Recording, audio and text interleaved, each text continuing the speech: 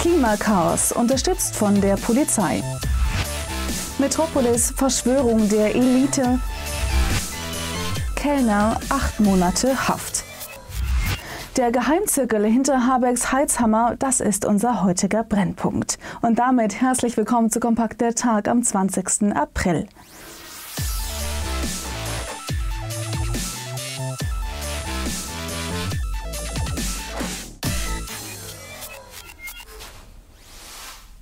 Die sogenannte Wärmewende ist eine der radikalsten energiepolitischen Umbrüche, die dieses Land je gesehen hat. Ab 2024 ist der Einbau von Öl- und Gasheizung nahezu vollständig verboten. Hinter diesem Heizhammer steckt ein immer mächtiger werdendes grünes Netzwerk in der Bundespolitik. Es geht um einen Minister, der unliebsame Mitarbeiter einfach aus dem Weg räumt und durch grüne Genossen ersetzt. Und es geht um eine extrem einflussreiche Familie, die Greichens. Verena Greichen vom BUND sucht auf der Straße den Schulterschluss mit extremen Gruppen. Wir wollen jetzt gemeinsam eine Zukunft aufbauen, die 100% erneuerbar ist und die gemeinsam verändert.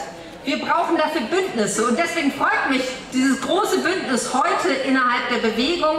Wie groß ist die Macht der Greichens und wie schaffen sie es, die deutsche Politik in ihrem Sinne zu beeinflussen? Darüber sprechen heute unser TV-Chef Paul Klemm und Kompaktredakteur Sven Eckers.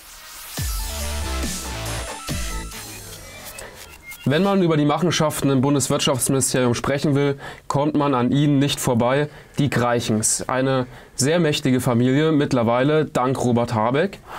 Dazu gehört zum Beispiel Patrick Reichen. Patrick Reichen wurde von Habeck zum Energiestaatssekretär ernannt. Früher war er grüner Lobbyist. Also so schnell kann es mittlerweile gehen. Und ähm, der wichtigste Staatssekretär unter Habeck ist ja Michael Kellner, der wiederum der Schwager von Patrick Reichen ist, denn er hat dessen Schwester Verena Greichen gearbeitet, äh, geheiratet. Äh, Verena Greichen wiederum arbeitet bei einem Öko-Institut, also bei dem Öko-Institut, eine sehr einflussreiche Organisation.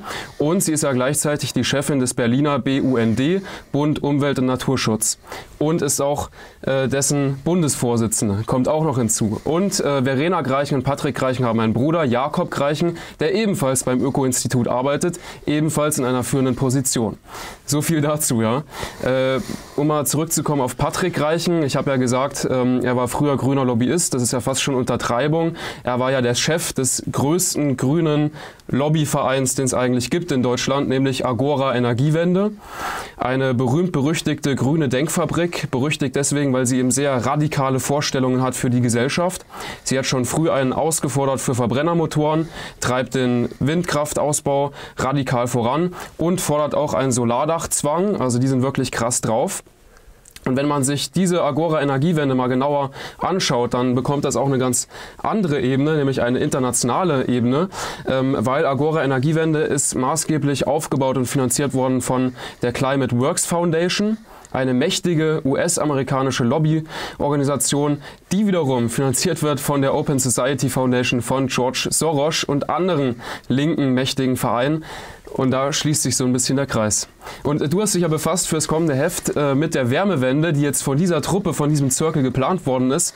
Was kommt da auf Deutschland zu und warum ist das so gefährlich? Ja, also Paul, das war wirklich krass, was du da zusammengetragen hast. Und ähm, das erklärt auch, warum der Habeck in so kurzer Zeit diese gewaltigen Pläne auch durchziehen konnte, weil er eben diese ganze Bande hinter sich hat. Ne? Und dieser angebliche Widerstand der FDP, der wurde von denen weggepustet, wie als wäre als wär er gar nicht da gewesen. Also eine reine Showgeschichte. Und veralbert sind wieder mal die Bürger. Ne? Aber zu deiner Frage, die ähm, 2024, das ist ja bereits nächstes Jahr. Ja, klar. Und da ist es schon so, dass keine neuen Öl- und Gasheizungen bereits mehr eingebaut werden können. Und wer da nicht spurt, der zahlt. Also im Raum stehen 5000 Euro Strafe. Es gibt bestimmten Voraussetzungen, die ist auch noch höher, aber das ist so der, die Faustregel. Und man will uns also sehr, sehr streng erziehen. Plötzlich sollen wir alle diese Wärmepumpen haben. Und das ist überhaupt nicht äh, ausgereift, das ist nicht klar. Die sind laut, die sind unglaublich teuer und auch überhaupt nicht verbreitet. Und die Leistungsfähigkeit der Wärmepumpe ist auch sehr unterschiedlich. Und ähm, viele Bürger, die sich jetzt Sorgen natürlich machen, wie sie diese Umrüstung von den Heizungsauflagen jemals stemmen können, sind in Sorge und müssen möglicherweise ihr Eigenheim, was sie sich äh, immer zusammengespart haben, verkaufen. Und dieser Verkauf ist eigentlich dann eine klassische Enteignung und das ist Ökosozialismus, von dem wir ja auch immer gewarnt haben und auch für, also für die ganze Gesellschaft steht auf dem Spiel. Da, es geht um Altersversorge, es geht um Ersparnisse, es geht um Lebensentwürfe, um unser ganzes gesellschaftliches Miteinander geht es. Und das steht alles, ist alles übergriffig von der Regierung. Hier äh, wird es attackiert und so sieht in der Tat grüne Politik dann eben auch aus. Und wie radikal diese Habeck-Vorgaben sind, wird deutlich, wenn man sich mal vor Augen führt, wie es jetzt aussieht, also wie der Ist-Zustand ist. Und äh, da ist es so, es gibt 41 Millionen Haushalte in der BRD und fast jeder zweite wird mit Erdgas beheizt. Mhm. 25 Prozent Heizöl, 14 Prozent setzen auf Fernwärme und nur 3 Prozent sind jetzt mit der Wärmepumpe bereits äh, konfrontiert. Also energiepolitisch wird unser ganzes Land auf den Kopf gestellt. Ja. Und perfide ist auch, dass uns künftig still und heimlich so, eine, so, ein, so ein intelligentes, angeblich intelligentes Messsystem untergejubelt werden soll. Es gibt also keine herkömmlichen äh, Stromzähler dann bald mehr, sondern sogenannte Smart Meter. Und die können theoretisch melden, wenn es zu warm ist bei dir in der Bude. Und wenn jetzt zum Blackout-Gefahr oder sonstige Engpässe drohen, dann äh, ist der Habeck in der Lage, äh, praktisch per Fernknopf hm. an der Heizung herum zu manipulieren. Und Wahnsinn. dann denkt man sich, wer denkt sich sowas aus? Und ja, Paul, wer denkt sich sowas aus? wer denkt sich sowas aus, ja? Vor allem habe ich mich auch gefragt, warum gibt es denn so wenig Widerstand aus dem Wirtschaftsministerium? Weil da arbeiten ja theoretisch nicht nur Leute, die Habeck angestellt hat. Aber wenn man drauf schaut, was er alles für Stellen neu besetzt hat, was er da für Leute rausgeworfen und versetzt hat, da wird einem das klar. Der hat dieses gesamte Ministerium nach seinem Willen umgeformt, muss man wirklich sagen. Äh, und es gibt ja auch in allen Ministerien so Referatsleiterposten. Das sind eigentlich reine Beamtenjobs. Das heißt, da sollen Leute äh, arbeiten, die ähm, schon immer Beamte waren, die keine politische Absicht haben. Und Habeck hat neun Referatsleiterposten mit seinen Leuten besetzt, nach individueller, individueller Auswahl, was eigentlich total untypisch ist. Weil normalerweise werden diese Stellen ausgeschrieben, dann bewerben sich Leute, werden angestellt, so läuft es eigentlich. Und er hat halt einfach diese Posten neu besetzt mit Leuten seiner Wahl, seiner Auswahl. Und da haben auch führende Politologen, wie zum Beispiel Jürgen Falter von der Uni Mainz, gesagt, das ist ein eklatanter Bruch äh, mit allem, was es bisher gab, mit der deutschen Beamtentradition. Das gab es vorher noch nie in der Form. Und äh, was mir auch äh, untergekommen ist eine ganz interessante Meldung. Ähm, es gibt jetzt auch eine Abteilung Wärme innerhalb des Wirtschaftsministeriums und die wird geleitet von einem gewissen Christian Maas, äh, der auch bei einer grünen Lobbyorganisation natürlich vorher war, nämlich dem Hamburg-Institut, dessen Geschäftsführer war er. Und äh, dieser Christian Maas hat zwei führenden Mitarbeitern seiner Abteilung den Verfassungsschutz auf den Hals gehetzt. Und zwar hat er gesagt, die beiden seien zu Russland freundlich und hat da um Amtshilfe vom Verfassungsschutz gebeten. Und da sieht man, mit welchen Methoden da gearbeitet wird, um unliebsame Mitarbeiter dann äh, ins Abseits zu drängen, weil es wurden keinerlei äh, handfeste Belege dafür gefunden, dass die irgendwie für Russland arbeiten. Aber es war de facto Rufmord, weil die natürlich jetzt immer den Stempel haben, äh, Putins Agenten. Es ist unglaublich, dass sich sowas hier bei uns abspielen kann. Man denkt, das ist ein anderer Film. Ne? Ja. Und ähm, die Bevölkerung ist letztlich immer der gekniffen und kriegt das möglicherweise nicht einmal mit. Und so ein Gruselkabinett wie diese Agora-Energiewende, das ist ja schrecklich, dass sowas überhaupt hier in der Form agieren kann. Auch in, völlig intransparent. Hm. Und das klingt ja nett, ne? so Agora-Energiewende. Und, äh, aber wir haben es ja hier mit einem ganz finsteren äh, Zirkel zu tun.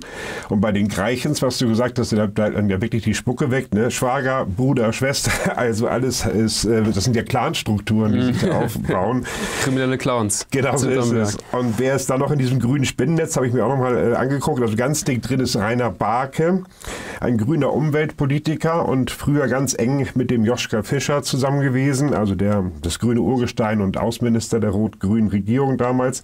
Und Barke ist so ein bisschen der Vater dieser Agora-Energiewende und der auch damals dafür sorgte, dass sein Kumpel Patrick Greichen sofort stellvertretender Direktor dieses Monstrums werden konnte.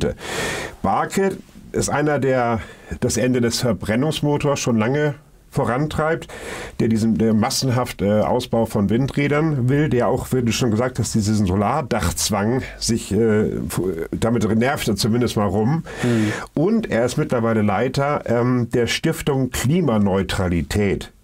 Und auch die wird massiv aus den USA gepimpert, nämlich Aha. vom Climate Imperative Foundation. Und so nehmen die Verstrickungen immer neue Zweige an sich und es wird immer wilder.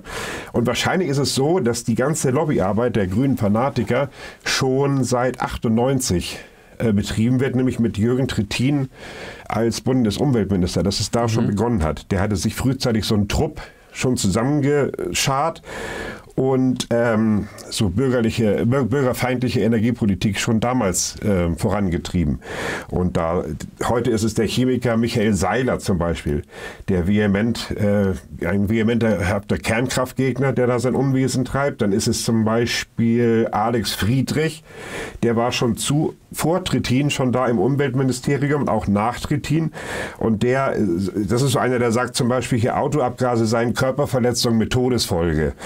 Das sind schon Fanatiker, die da äh, unterwegs sind. Ne? Und der ist heute Sachverständiger der deutschen Umwelthilfe. Und auch die kriegt natürlich Zuwendung von diversen Lobbygruppen und wird auch hier gepimpert. Und äh, ganz zum Schluss dick im Geschäft ist noch der Sven Giegold, Europapolitiker der Grünen der mittlerweile Staatssekretär bei Habeck. Auch, ja. Hm. Und äh, der ist mit, Mitbegründer dieser außerparlamentarischen Aktivistengruppe ATTAC.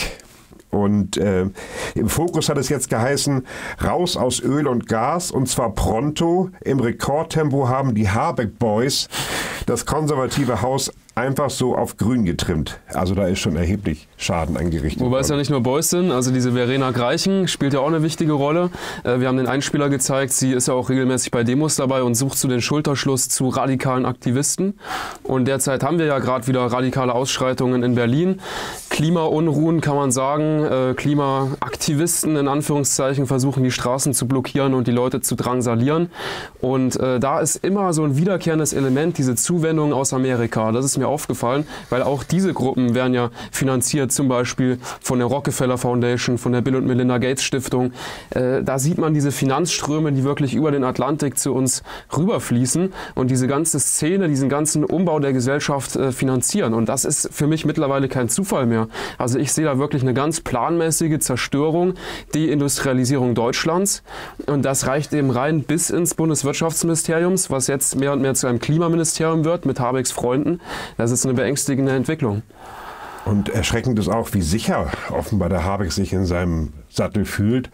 Also die, dem ist auch offenbar ganz gleichgültig, was die Menschen über ihn denken. Die letzten Umfragen sind ja eigentlich eindeutig. Mhm. Also die gehen ja abwärts für die Grünen, auch für ihn persönlich.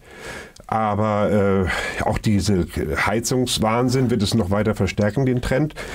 Aber das, er fühlt sich so sicher in seinem Amt und äh, kann sich wahrscheinlich auch sicher fühlen, weil er die Mächtigen hinter sich glaubt. Und noch sind die Mächtigen eben mächtig und verleihen sich gegenseitig Orden, wie jetzt bei der Merkel zuletzt. Mhm. Und auch der Habeck geht hier übrigens nicht leer aus. Der bekommt also am 11. Juni feierlich in der Frankfurter Paulskirche den Ludwig-Börne-Preis überreicht. 20.000 äh, Euro ist er dotiert. Und zur Begründung heißt es, Habeck erkämpfe sich auf beeindruckende Weise Freiräume durch Nachdenklichkeit. Und seine Aussagen seien stets von gesellschaftswissenschaftlicher Reflexion. Vorgeschlagen wurde Habeck übrigens als Preisträger von Jürgen Kaube, Mitherausgeber der Frankfurter Allgemeinen Zeitung. Paul, Super. oh Mann, keine der, der, der größte, der größte Freiraum ist zwischen seinen Ohren. Ne? Ja. Den hat er sich hart erkämpft. Liebe Zuschauer, kommentieren Sie gerne wieder mit auf YouTube oder auf unserer Online-Seite kompakt-online.de. Und wie immer gilt natürlich liken, teilen, abonnieren. Darüber freuen wir uns. Mit dem Film Metropolis von 1927 hat der deutsche Regisseur Fritz Lang Liebes Publikum, hier endet die gekürzte YouTube-Fassung dieses Beitrages. Wegen der Zensurgefahr können Sie die vollständige Sendung nur unter kompakt-online.de sehen. Den Link finden Sie in der Beschreibung unter dem Video. Viel Spaß beim Weiterschauen wünscht Ihnen Ihr Kompakt-Team.